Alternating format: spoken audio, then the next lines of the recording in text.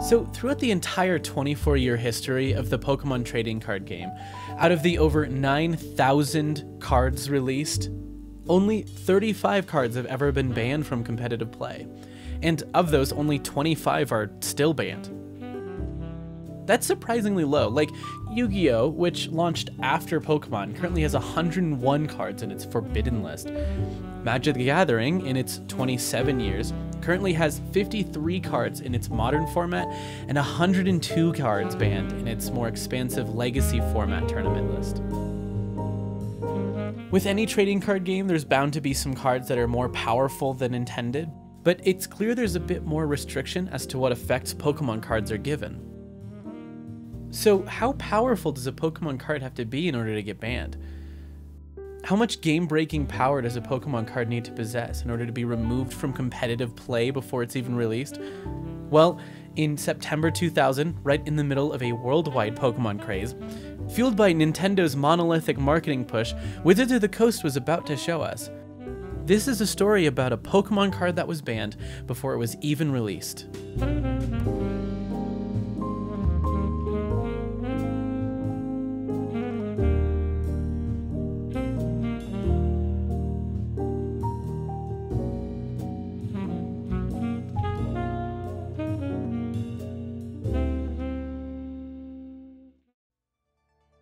Might remember Pokemania. Pokemon is now in full mania. Global marketing phenomenon. Pokemon the movie joins Pokemon the video game. Pokemons and Jigglypuff Daddies. And this is going to be one of the hottest selling toys for the holidays. This is a top. For a single moment in the late 90s, after a fast flash of months of marketing and a concept really well geared towards playground conversations, suddenly everyone in the world was focused on just one thing. These silly little creatures called Pokemon. Pokemon was everywhere, and news stations loved to point that out, which only bolstered its popularity. It seemed, though, that throughout the entire conversation was one thought Pokemon was a fad. But North American audiences didn't see the Japanese side of the craze. See, in 1998, Game Freak and Nintendo had a hit on their hands. Two years ago, after the release of Game Freak's nearly studio ending role playing game, Pocket Monsters Red and Pocket Monsters Green, a steady boil of popularity produced a juggernaut of a household name.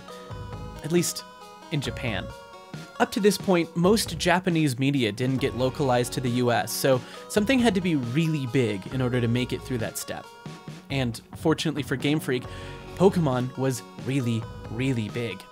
Nintendo, at this point, were the masters of introducing things to the Western market.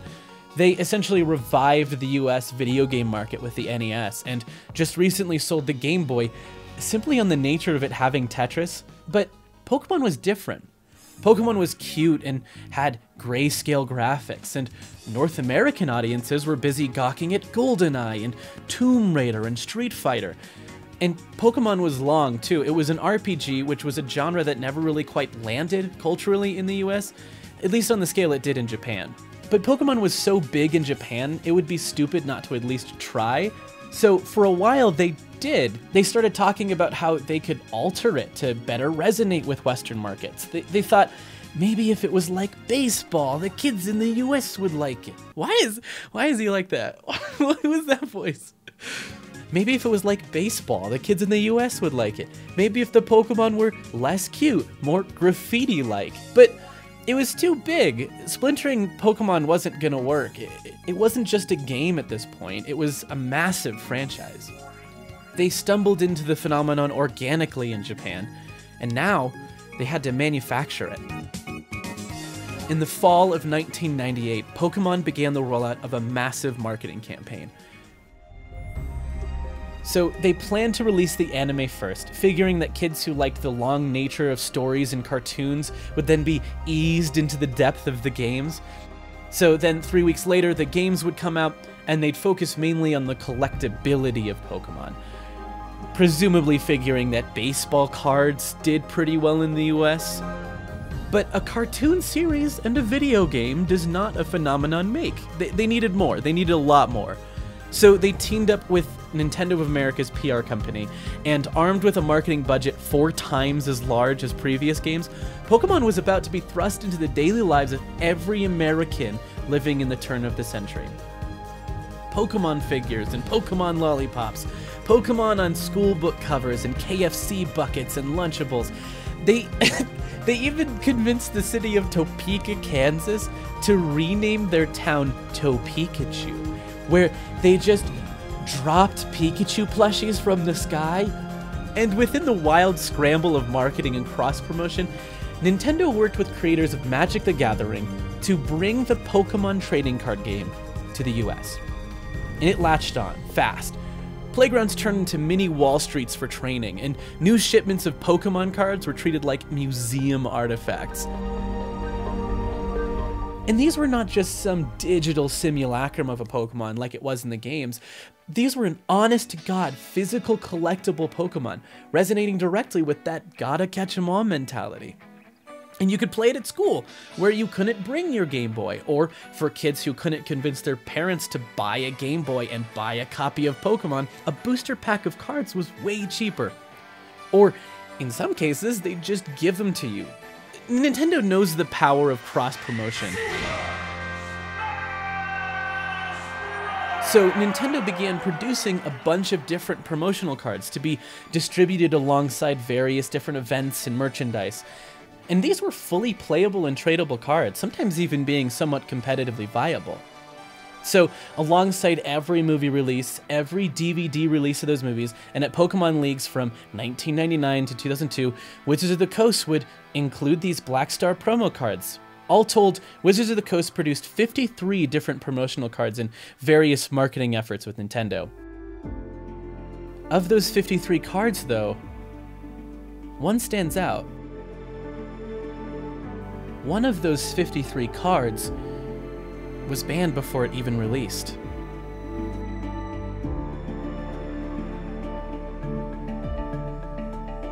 The knowledgeable among you might have seen the title of this video and remembered Ancient Mew, uh, which was a card that was created for distribution alongside ticket purchases to the Power of One. Ancient Mew is printed in some sort of like runic language, so it stands out pretty quickly among the sea of rare cards. You might have even thought this video might be about Ancient Mew, since it's written about so often on the internet. But Ancient Mew was banned alongside its release, not before it was released, and has since had a reprint which makes it entirely tournament legal in Japan. The card that I'm talking about, the card that was banned before it was released, the only Black Star promo card to ever get banned, that card is this card.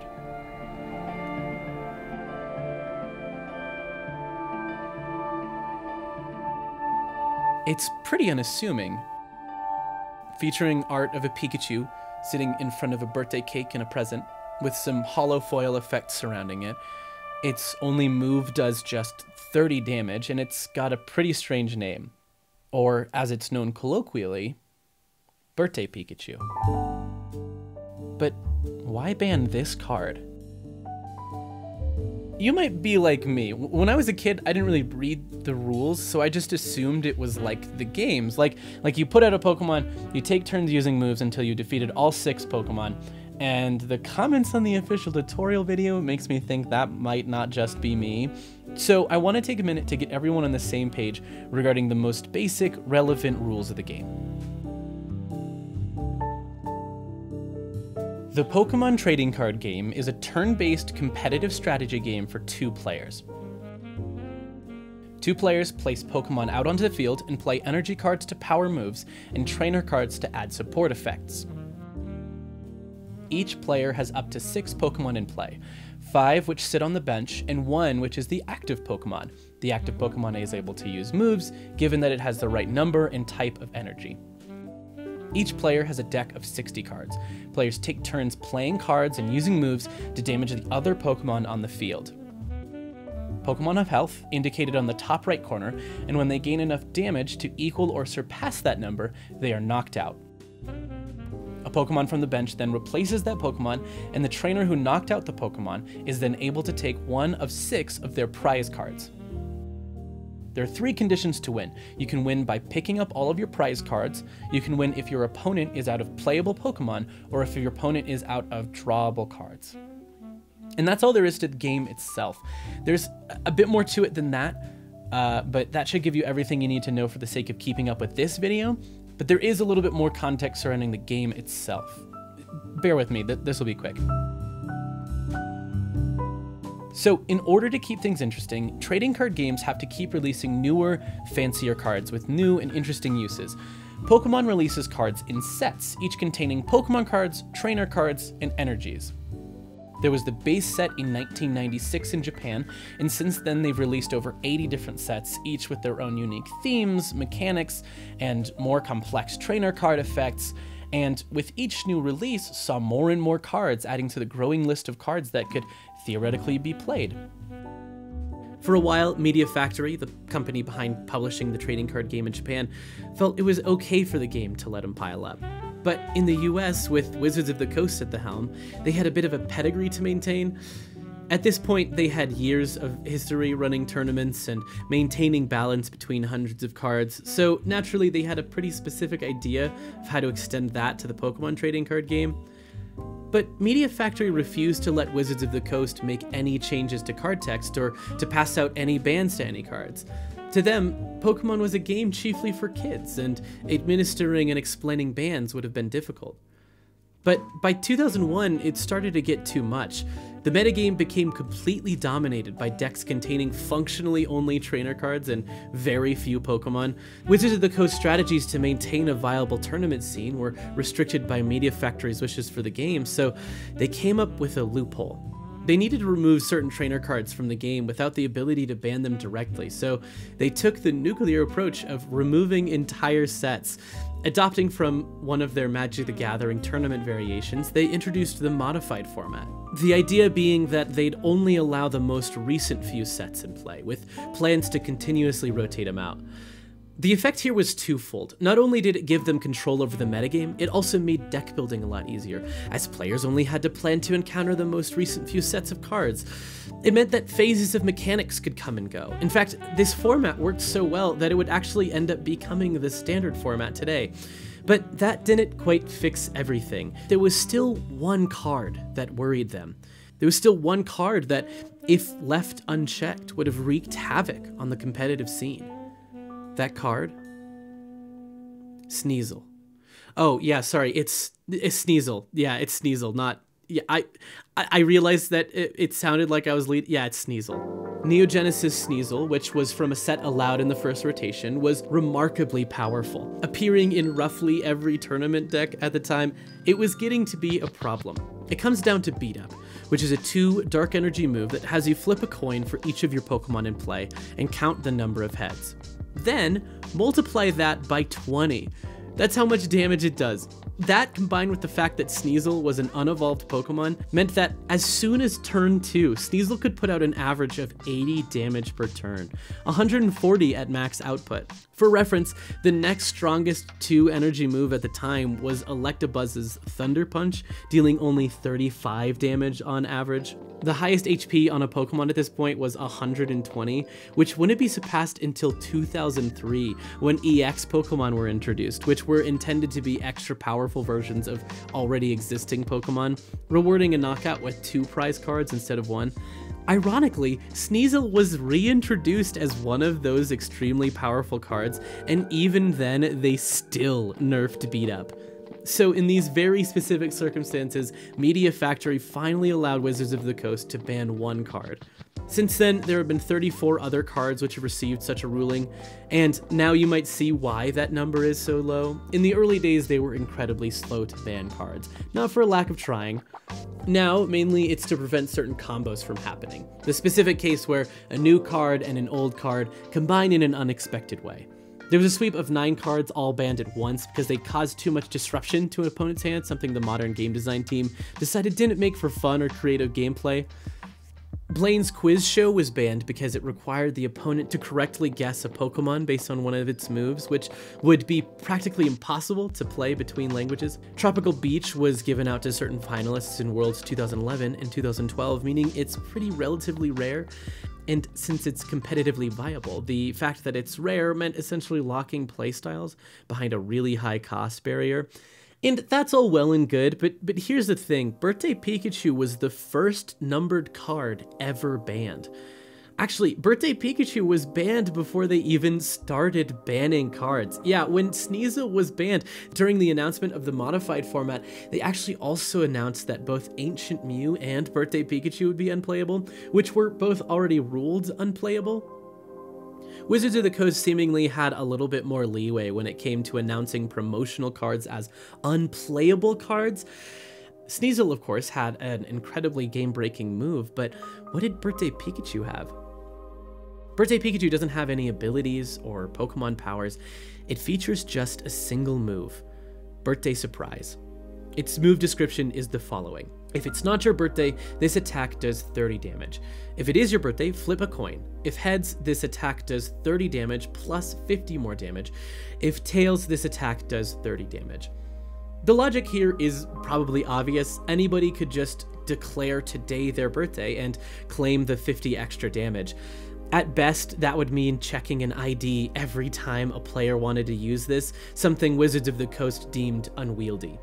So then, hold on, why was Ancient Mew banned?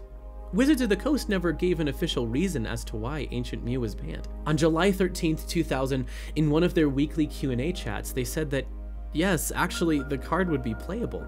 And then by August 25th, the card was banned. There seemed to be a lot of discussion over its status, but it isn't a good card at all, so it's strange that it posed such a point of contention for the English community. I want to emphasize this a bit here. Ancient Mew was not by any measure a good card. It wasn't competitively viable, and it had an official means for translating and playing the card bundled alongside its distribution. Seriously though, look at this. Look how many people were asking questions about it. This relatively weak, fun promotional card practically threw a wrench into the competitive scene. There's one chat where they mentioned banning the card because it was only meant for fun. Obviously, that proved to be too much for the American audiences, so Wizards of the Coast, possibly out of frustration, banned it. So it's no surprise that Birthday Pikachu, in the almost immediate wake of Ancient Mew, was banned essentially alongside its announcement. And so that was it. For functionally the last time, Pokemon experimented with a non-tournament legal promotional card. They would later go on to release comically overpowered cards, but those were released as non-regulation sized cards, and in the more modern 2013 era, they'd release some of these more fun cards, but functionally, for the foreseeable future at this point, they'd stop making any cards meant only as a fun thing. Or for functionally the last time in America. Japan is pretty well known for its vending machines. It's pretty much the first thing tourists make observations about, and it's a pretty big part of the culture there. Not that vending machines are always trying to sell you something, more that there's a feeling that there'll always be a vending machine if you need one. And in case you didn't think that far ahead, it's not just for drinks and snacks, but for toys and meals and clothes, and yes, Pokemon cards. In 1998, before and during the American rollout of Pokemon, Media Factory created a set of cards that were available on sheets through vending machines. They made three of these expansion sets. The first two had three cards on each of the 18 sheets each, with cardboard damage indicators and coins in the top right corner. The third set, however, was a bit different. Imagine being in Japan around now, where Pokemania isn't nearly as tacky as it would be in early 2000s America. What I mean is that they didn't really have anything to prove over there. They weren't trying yet to make a massive media franchise out of nothing. In that way, you can imagine Game Freak feeling that there's a bit more room for fun with the Pokemon brand in Japan. And so have fun they did. The third vending machine card set did away with the damage indicators in the extra space and instead had some special cards there. Some of those were deck suggestion cards, which is the first and only time anything like these have ever been produced. Each of the six themed around a different location from the Game Boy games. More interestingly, though, there's the extra rules cards. You'll notice the specific different card classification in the top bar. These five cards are the only ones to have that. These extra rules cards contain adjustments to the base rules of the game, like this one which simulates confusion damage the way that it works in the video games, or this one which reduces the number of prize cards to 4, functionally shortening the game. Or this one which suggests a best of 3 simultaneous match, which you didn't really need a rule card to tell you that you could do, there's Bill's PC, which asks you to send in one of five Pokemon cards alongside itself to receive the evolved form of those cards, once again simulating a mechanic in the video games. Bill's PC is categorized as a pass card, which if this video is the longest of your exposure to the trading card game, you might not catch how strange that is. There are only five card classifications. There are, of course, sub-classifications, like items which fall underneath the broad classification of trainer cards, but the broad categories I mentioned before, Pokemon cards, trainer cards, and energy cards, contain every other card in the game. Pass cards and extra rules cards are entirely separate classifications, and exist only to contain these cards, a couple cards do exist that change some gameplay for specific tournament rule variations, but these were classified as trainer cards and included inside decks. Oh, and then there were these cards. What you're seeing right now are officially released, regulation-sized, real Pokemon cards. Each of them are hand-drawn, and some of them aren't even categorically cards, but they're officially part of the vending machine expansion set, so they're cards in that sense, here's the most normal of them, at the very least being actually categorizable as a Pokemon card. The two moves here are Greetings, which lists the damage as about 10, and Fake Sleep, which suggests that you pretend to be asleep only to then surprise your opponent by waking up. This one's a joke card depicting some art of a machine in the Pokemon card factory. The next one here is a hand-drawn trainer card, Imakuni's Nasty Plot, which features uh, this. Now, the whole story of Imakuni will have to wait for a future video. But in short, he's a musician who's worked on a lot of the music for the Pokemon anime and was a big player in promoting the trading card game. He is eccentric and he is incredible. He's got this costume that he's always seen in, which I can only describe as a news channel's best attempt at a Pokemon.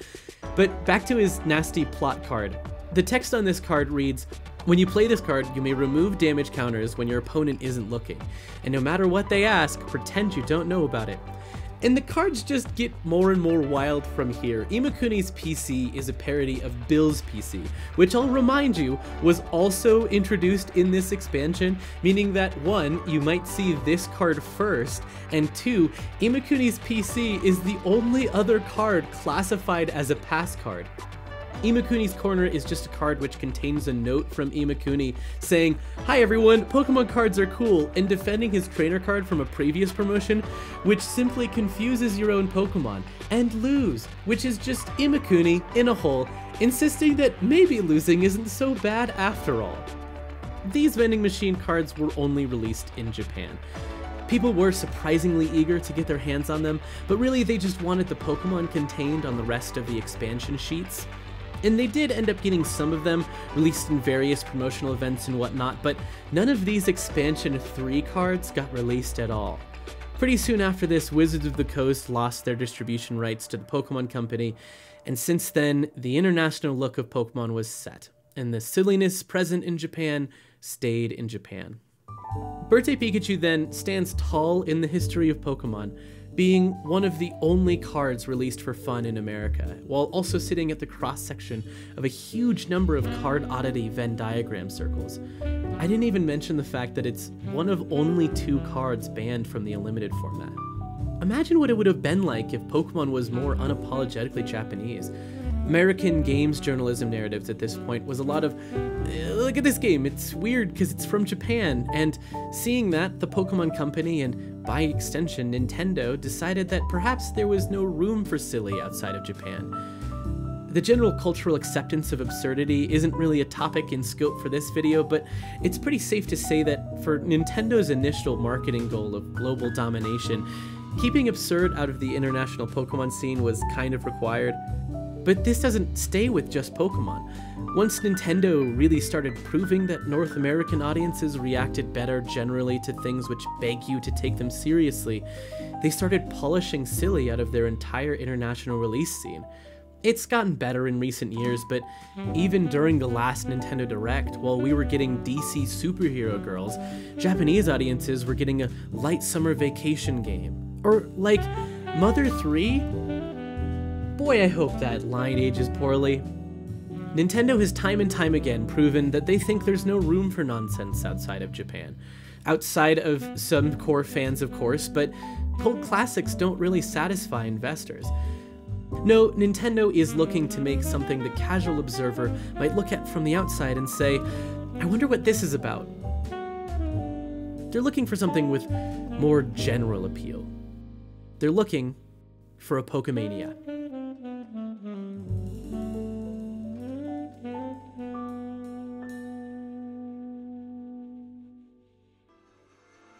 Hey, thanks so much for watching the video.